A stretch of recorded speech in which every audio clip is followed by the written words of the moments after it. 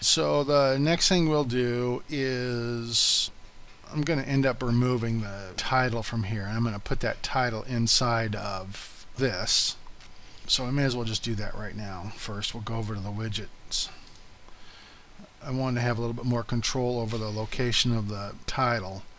So what I'm going to do here instead of this is take that and then inside of this here I'm going to do an H3 and paste that and then another H3 so I've got the, essentially the same thing going on here. We've an H3 tag uh, with our get our free report now, but now it sits inside of that one side. Hit save. And then refresh that. Okay, there we go. So now I think actually we need 20 pixels above this too, uh, but that does look better. So we come back over here and add 20 pixels of padding.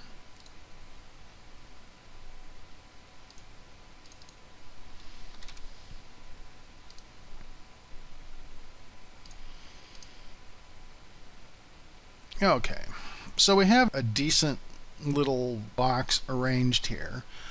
Now I want to show you some of the other features of this. Let's say for example that we can round the corners of this if we wish. So for example we could come over here and say give ourselves a 10 pixel corner radius and hit save. Refresh that.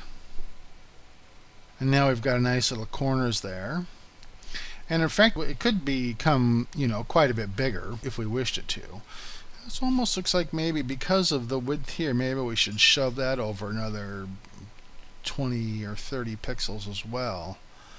I almost wonder if what we should do is just measure that. See how much uh, space I have there. Let's see. Use this measuring tool. Okay, so I've got 60 some odd pixels there. So, and I've got 20 there. So let's just add 60 pixels and see what happens. So in terms of padding, the left padding instead of 20 pixels will make 60. Let's see if we get that to line up nicely.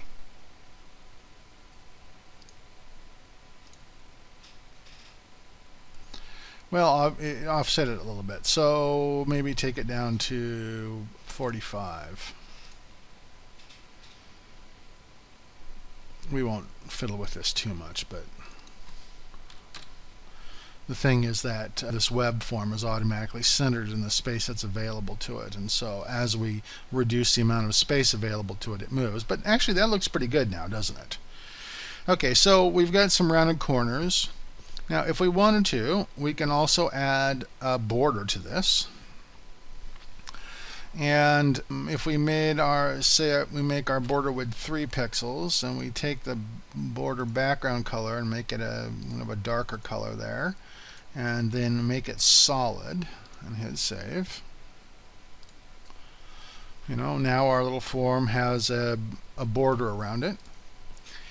And we can also add a drop shadow to this so drop shadow contains two elements. It's got well it actually contains three. It's got a width a blur and a color. So we'll say uh, we'll give it a width of let's give it a width of three pixels a blur of 3 pixels and let's give it that as its color and hit save come over and refresh it now we should get a nice little drop shadow around there we do so now that stands out a little bit more and then if we wanted to we could use a, a CSS3 gradients to change out this button to make a nice looking button for this. So I'm going to just do that real quickly as well, um, just for grins. It's not exactly on topic here, but nevertheless, I still want to show you how to create a button using that CSS3 gradient generator. So if we, for a moment, grab our color here, it's that dark red color, grab that color, And then come over to this site that is csstricks.com examples button maker. And then for the top gradient color, let's make that the top gradient color.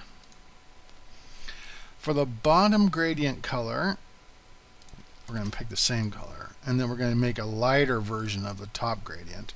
So here we are right here. That's that top gradient color. I'm just going to push it up there for the top gradient and hit select so you can see what it looks like now then the top border color I'm going to do that but instead of being that dark color I'm just going to push it up quite a bit lighter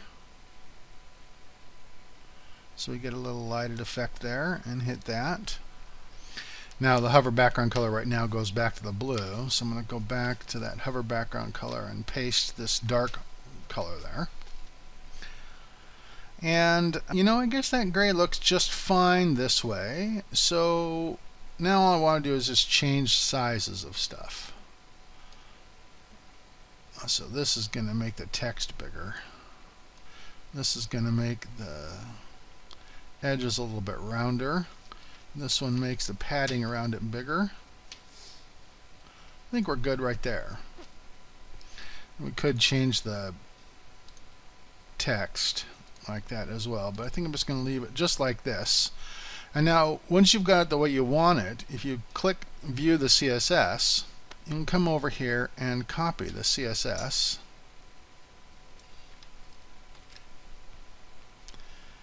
And then go to your CSS style sheet for this thing and paste it. Now we're not using the active condition, so I'm just going to delete that. But now we've got CSS for this.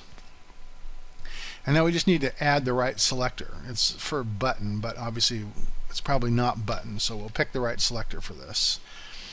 And the right selector for this is inspect element and this is input class equals submit so I guess what I would do is div class AF element dot button container and then input dot submit so that looks like this. Instead of button we'll paste that. Now we need the AF button element dot button container and then space and then input dot submit.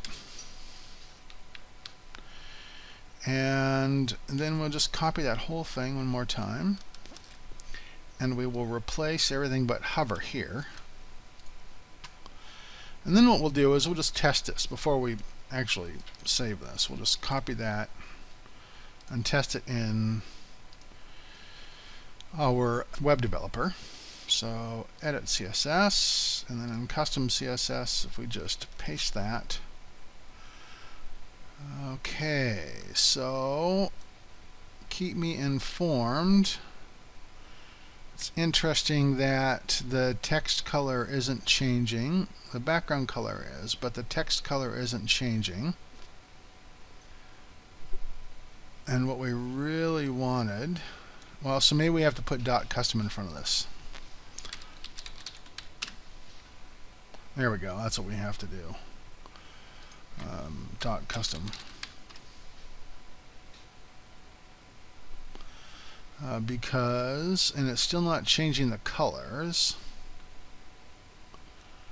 Um, so if we want to change the, the font size is still not getting changed. I guess it really wants to use this uh, element name in front of it. So we have custom space that. There it is. That was it. Had to find the right combination of things. But now it looks right. I think the only thing I want to do is add uh, hover is add the cursor uh, pointer. There we go. So now we have this rounded CSS3 button. So we can just go ahead and copy this and paste it back into our custom CSS file. Hit save. Open up FileZilla and upload it. And this thing should work nicely in our site. Okay, there we go. Although, uh, really, it doesn't look very good in this version of Chrome, does it? Isn't that unfortunate? I might want to get rid of the box shadow there. I think sometimes the text shadow doesn't render very well in Chrome, and I'm not sure why, but I think that's probably what's going on here, is that Chrome isn't handling that very well. If we took a look at this here and we just go to not box shadow but text shadow